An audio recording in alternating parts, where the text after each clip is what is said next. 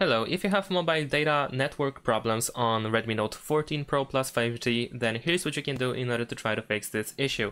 So first of all, we're gonna go to the settings and we're gonna visit mobile network settings.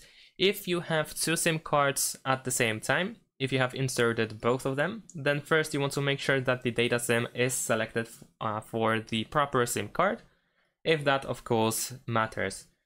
And in addition to that, well, of course, make sure that the mobile data is enabled over here because sometimes it can be disabled by accident or some something like that. So we want to make sure that mobile data is enabled. You might also want to go to the SIM card settings and you might use, for instance, the different network type. If you have, for instance, turned off 5G, then you might want to turn it back on in order to see if that helps. And if none of this helps, what you can do is go to more connectivity options and then over here go to reset Wi-Fi, mobile networks and Bluetooth. And over here you want to select your SIM card. If you once again use two SIM cards, then you can choose which SIM card you want to reset.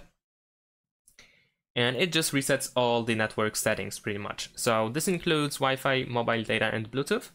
So unfortunately you cannot separate that. If you reset those um, if you reset by using this uh, option, then you will need to connect to your Wi-Fi again, you will need to connect your Bluetooth devices again, and so on and so forth. So keep that in mind.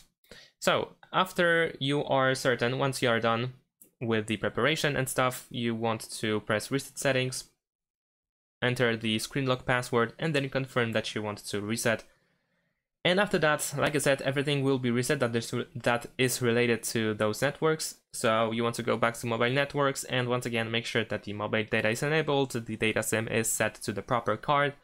And if you go to the SIM card settings, you want to make sure that the SIM card is enabled and the preferred network type is 5G, just to check if actually um, this solves the issue. And that's pretty much it. Thanks for watching, leave a like and subscribe to my channel and see you in my next videos. Bye!